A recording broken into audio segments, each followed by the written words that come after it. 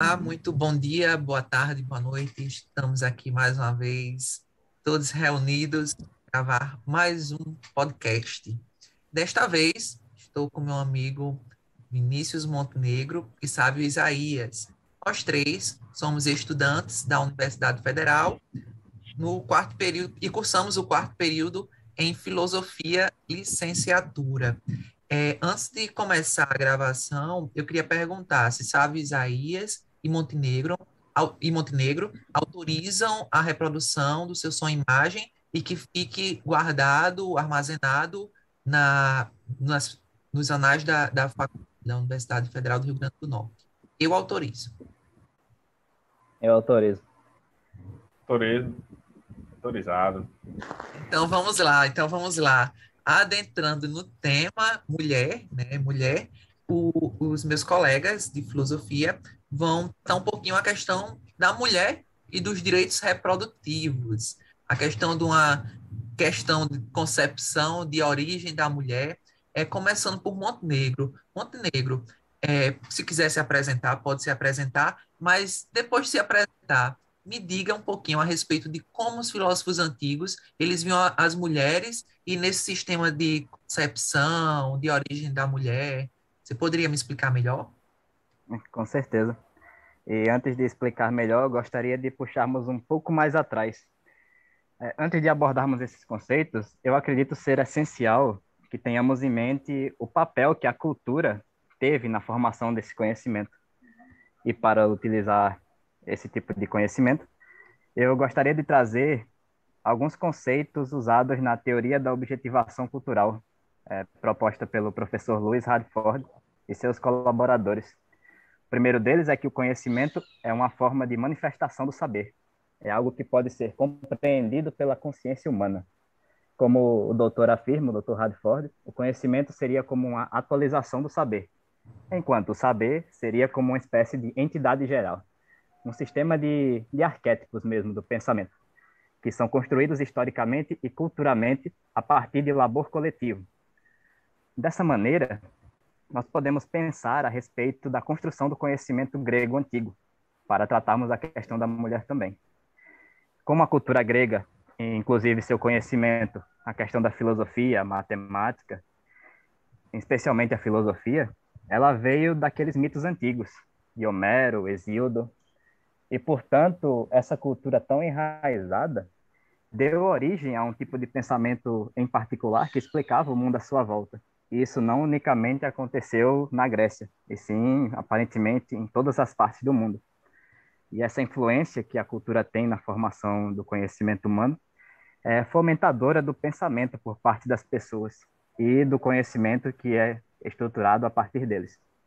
E com essa pequena introdução, eu gostaria que meu amigo Sávio é, desse um pouco mais uma explicação a respeito de como essa cultura e esse conhecimento é aplicado na questão sobre a mulher na Grécia Antiga.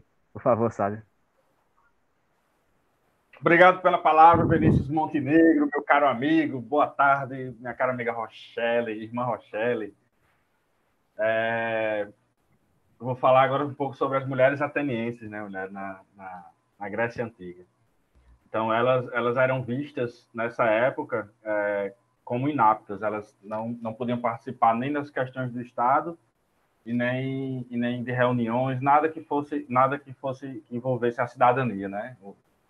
Elas, elas eram vistas como, como inferiores aos homens, elas não não é, não havia possibilidade de elas mudarem de vida, elas já nasciam é, condenadas a, a, a serem a serem subservientes até o, até o dia de sua morte aos homens. E, e, alguns, e alguns detalhes mais na, na, na própria é, Atena, né, entre os atenienses, é, elas, eram, elas eram educadas para, para serem dóceis e reservadas ao, ao mundo doméstico. Elas já nasciam com essa predestinação. Elas eram subjugadas pelo pai para escolher, já, é, para escolher o homem os pais delas escolhiam os homens com os quais elas iriam se casar.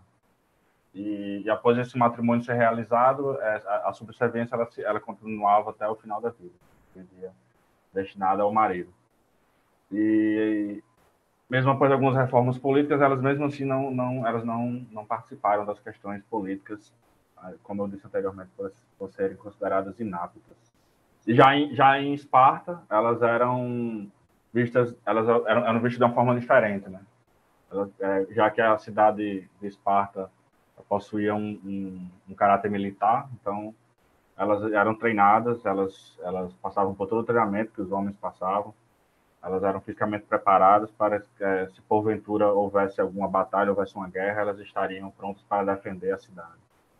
Então, era comum que, que elas se dedicassem a disputa de jogos e participassem das atividades da cidade, incluindo é, reuniões públicas e, e, e, reuniões que fizessem parte da política, né, do, do, do Congresso. Enfim, elas tinham, elas tinham esse direito de participar. Não sei quem é que fala agora. Certo, certo. É, e referente aos direitos reprodutivos da mulher, como era essa questão com a mulher à vista? É, eu acho que Montenegro poderia abordar um pouco mais essa visão né, da questão do homem da mulher no sentido reprodutivo. Se eu não me engano, era Aristóteles que tinha uma visão que, que a, a questão da, da mulher, né, da questão de gerar o filho, ele tinha uma visão de gerar o filho, de gerar o bebê. Como era essa visão, Montenegro? Ah, com certeza, posso sim. Eu até peço desculpas por ter me estendido um pouco na, na apresentação. E é só complementando o que Sávio havia dito, eu acho que apostaria meu dinheiro em qualquer espartana contra qualquer cidadão ateniense. Com todo respeito, assim, mas as espartanas eram demais mesmo.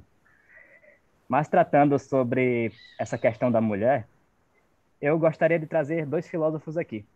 O primeiro deles, né, um que é apegado às ideias perfeitas, e que tinha certo desprezo pelas sensações. Como todos já sabem, o nosso amigo Platão, que era fascinado por essas ideias perfeitas, ao escrever seu livro da República, estava pensando numa polis perfeita. E nessa polis perfeita, era imprescindível que os homens e as mulheres fossem capazes de agregar a polis. Portanto, Platão afirmava com toda certeza que homens e mulheres tinham a mesma capacidade intelectiva não se diferenciando nisso em absolutamente nada. Tanto homens quanto mulheres tinham total potencial de encontrar o seu lugar no cosmos. Haviam homens aptos à sabedoria, da mesma maneira que havia mulheres aptas à sabedoria. No entanto, quando Platão foi perguntado é, sobre as mulheres no, na República, ele diz, abre aspas, não é nada fácil, meu bom amigo. De fato, isso suscita objeções ainda maiores da que abordamos até agora, porque as coisas que eu vou dizer pareceriam impossíveis e, mesmo que não fossem, não seriam aceitas como as melhores. Por essa razão, hesito em falar delas, receando que meu discurso seja tomado por pura fantasia. Dessa maneira, nós percebemos que as ideias de Platão sobre a mulher não era bem vista na sociedade ateniense, muito menos na sociedade grega como um todo. Platão também estudou Esparta e deve ter percebido que, poxa vida, as mulheres de Esparta extremamente fortes deviam dar um, uma surra em qualquer homem grego, né? Vamos dizer assim. E essa argumentação platônica, ela se estende, né? E diz: se, portanto, exigimos das mulheres o exercício das mesmas funções dos homens, é preciso instruí-las da mesma maneira. Então, Platão, de fato, tinha uma ideia, eu posso dizer, meia certa a respeito da mulher. De fato, a mulher tem a mesma capacidade do homem e tudo mais. Platão não estava de todo errado. Muito menos, através dos seus discursos, não era lá considerado um sujeito que odiasse as mulheres, como demonizam por aí.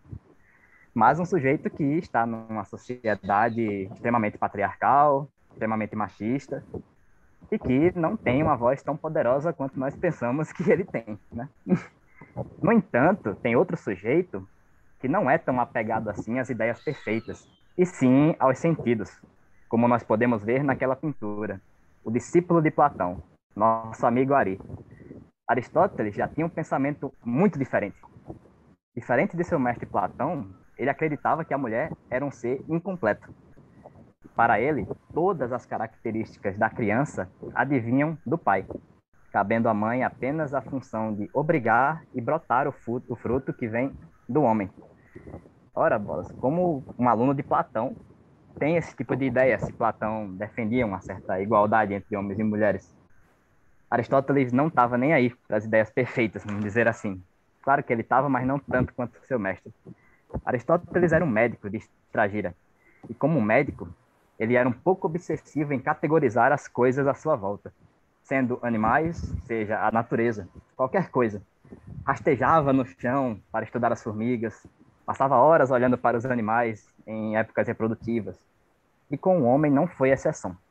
Ele percebeu que o sêmen do homem, que entra na mulher, aparentemente era o fruto, era a contribuição do homem para a geração de um feto, enquanto na mulher ele não era capaz de observar algo.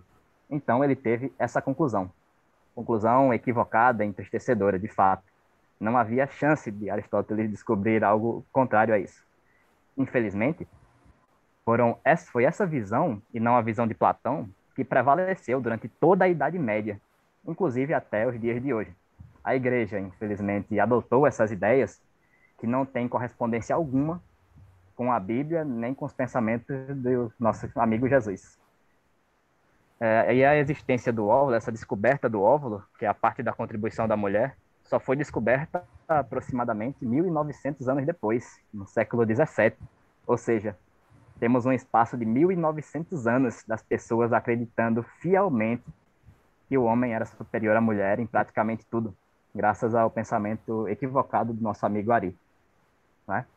Ele também acreditava que a substância reprodutiva feminina era apenas uma fração pura do sangue menstrual, porque era a única coisa que o nosso amigo Aristóteles, apegado aos sentidos e aquilo que ele via, conseguia observar da mulher.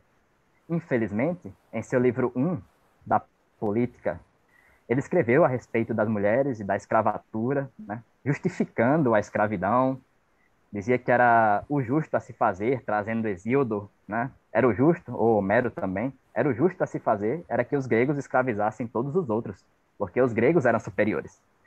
Inclusive falando também da subserviência da mulher, haja vista que ela é inferior ao homem. Então, esse tipo de ideia entristecedora do nosso amigo Aristóteles, infelizmente, tira o brilho da sua obra. Mas, ainda assim, é um filósofo muito importante que devemos estudá-lo. É? Claro, né? passando do nosso amigo Aristóteles, temos Pitágoras também. É o meu favorito, praticamente. Pitágoras era um cara que é polarizante, vamos dizer assim. Em, alguns, em algumas coisas, já ouvi dizer que ele considerava as mulheres como a advinda das trevas e o homem advindo da luz. Não sei se ele quis dizer que era um equilíbrio, que ambas as partes eram, eram necessárias para um equilíbrio perfeito cósmico. Lembremos-nos que, que, o Pitágoras é anterior ainda ao Platão. Mas na escola pitagórica de Crotona, temos um templo que foi construído em homenagem a Héstia e a nove musas que foram esculpidas a mármore. E dentre essas musas, que eu tenho uma pequena cola aqui, né? Temos a primeira delas, a Urânia, que é a musa da astronomia e astrologia. Polímia, a musa das profecias e adivinhações. Melponeme, que é a musa da ciência e da vida e da morte. Calliope, da poesia, eloquência e retórica. Clio, da literatura e história. Euterpe, da música e do canto. Terpsícore, da dança e coreografia. Erato, da magia e do amor. Itália, a musa que representa a arte e o teatro. Além disso, nosso amigo Pitágoras aceitava tanto homens quanto mulheres em sua escola pitagórica.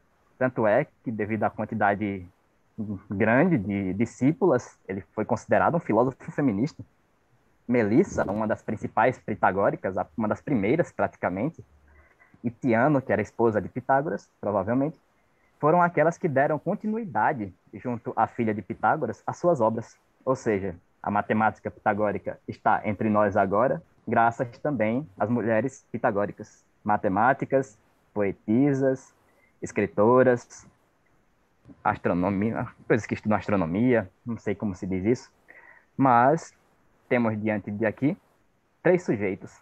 Platão meio certo, Aristóteles meio certo, meio errado, né? Meio certo por parte do homem, errado por parte das mulheres e da escravidão. E temos o nosso amigo Pitágoras, que aparentemente não estava nem aí. Né? Vai, vai saber o que esse cara passava na cabeça dele. Filho de Hermes, né? discípulo de Apolo, um filósofo que seria dito como um dos maiores do seu tempo e de todas as épocas. Né? Certo. Nosso tempo está passando. Eu queria uma última contribuição de Sávio para me falar a respeito da questão dos filósofos eclesiásticos, né? É Santo Agostinho, Santo Tomás de Aquino. É, sabe, poderia explicar melhor é, a respeito como era a visão desses filósofos ligados aí à Igreja Católica a respeito da mulher? Sim, claro, perfeitamente. Nosso amigo Vinícius aí já falou praticamente tudo, né? Mas aí agora a gente vai anda um, um pouquinho mais à frente e, e chega nesse, nesse período tão cruel aí, foi o período medieval. É, puxando um gancho do, do, do, que ele falou sobre o Aristóteles, né? O, o, São Tomás de Aquino, ele, ele pensava diferente com relação a, a, ao, que, ao que foi dito pelo Vinícius, né? O, pelo, pelo, pelo, pelo Ari, né? Que o Vinícius é tão íntimo do, do, do Aristóteles que ele chama de Ari. Tomou uma com ele no, no, no banquete. É, ele diz, o, o, o, pensamento de São Tomás de Aquino ele, é, é, de que a mulher ela não, ela não pode ser planejada pelo ser masculino, né? ela, ela, ela é dada antes disso, né? ela já é planejada antes disso, ela vem da natureza. Ou seja, então, se é da natureza, é, como a natureza é, é, foi criada por Deus, então Deus é, é, foi quem planejou a mulher. Então, tendo ele planejado a mulher, ela não pode ser defeituosa, né? porque Deus, ele, em sua infinita perfeição, ele não produz nada de nada de errado. Tudo que ele produz tem, um, tem uma finalidade e, e, e, é perfeita. E outra coisa também é que ele é, não, não, ele fala sobre é, é a costela, né? Que a mulher veio da costela. Ele diz que não, que a mulher é, ele ele produziu, é, ela, ela foi, a mulher foi produzida primeiramente por Deus, né? Deus concebeu o homem e a mulher. Um porém que é o, o, a questão da, da subserviência, né? Ele fala que, que a mulher ela, deve, ela foi criada, o, o, Deus ele criou a mulher para servir ao homem. Ele, ele fala que embora ela não seja não seja menor, mas ela deve servir, sim. Ela, ela deve, ela deve, ela, ela foi gerada com essa, com essa, com essa finalidade, né? É, já o, o, o, Santo, o Santo Agostinho de Hipona é, fala em, em, seu livro né, Confissões, no, acho que é capítulo, não sei como é que fala, esse é capítulo 13. E assim como na sua alma, uma parte que impera pela reflexão e outra que se submete para obedecer. Assim também a mulher foi criada quanto ao corpo para o homem. Ou seja, ele, ele, tem, um, ele tem um pensamento semelhante ao de, ao de São Tomás de Aquino. Né? Fala que, o, que a mulher deve, ela, ela foi criada para o homem. Né? O homem é como se fosse o, o, o dono, entre aspas, dela. Ela possuindo, sem dúvida, uma lama de igual natureza, não sei o que quer, dizer com lama, deve ser de, de, de, de, de origem, né? de, de substância prime, primeira, não sei de igual natureza racional e de igual inteligência está, quanto ao sexo, dependente do sexo masculino. Assim como o apetite de que nasce o ato se subordina à inteligência para conceber da razão a facilidade em ordem ao bom procedimento. Ela depende do. Ela, ela é subordinada ao homem, né? ela depende da, da, da, da inteligência para então ela, ela conceber a razão e, e, e assim ela, dá, ela, ela, ela conseguir realizar escolhas na, ao longo da vida dela, né? Escolhas entre aspas, né? Escolhas que sejam convenientes para o sexo masculino. É, Vinícius Montenegro, em pouco tempo, em um breve curto espaço de tempo, você poderia me dizer é, como ainda é vista a mulher na atualidade, né? Esse pensamento aí, ligando o que sabe disso, esse pensamento machista, patriarcal aí da Igreja Católica, né? E, e eu acredito que, que tem influência até hoje, né, na nossa atualidade. Você poderia falar como, como é a, nossa atualidade vem tratando desse assunto? Desse... Com certeza. Com certeza. E para falarmos sobre isso, acredito que o link mais sensato a se fazer é com as mídias sociais, né? Nós entramos, não sei, no Instagram, no, no Facebook da vida, e o que mais vemos são mulheres sendo assediadas mesmo. Tanto em jogos online, como não sei, qualquer jogo que nós jogamos, quando tem alguma mulher no jogo junto com a gente, aparecem comentários extremamente entristecedores, como lugar de mulher é lavando a louça, ela deve estar satisfazendo o homem dela, por isso que ela joga tão ruim, mulher não serve para jogar, mulher tem que fazer serviço de casa, coisas do gênero. E eu tenho uma amiga que eu falei com ela um dia desse, e ela excluiu o Instagram, porque toda vez que ela colocava alguma foto lá, apareciam alguns sujeitos que mandavam direct para ela, falando coisas bem terríveis assim, né? No quesito de assédio mesmo. Então, essa coisa do, do homem superior, do macho alfa, etc., ainda continua muito vigente em nossa sociedade, infelizmente. E acredito que vai demorar um pouco para sair. Entendo. Só para terminar nosso bate-papo, ainda tem um minuto restante, um minuto e meio. É, gostaria que, de dar umas palavras para vocês e que vocês me respondessem com outra palavra. Vamos lá. É, começando por Montenegro e depois com Sávio. Como vocês me definiriam com uma palavra guerreira? Amazônia. Sávio. Mãe. Patriarcado, Montenegro. Desnecessário. Sávio. Opressor. Educação. Necessário. Acho que é, o mesmo que eu respondi da outra vez, né? Fundamental. Igualdade. Fraternidade. Fraternidade. Esse foi o nosso podcast. Agradeço, agradeço a participação de Sávio e de Montenegro e até o nosso próximo encontro.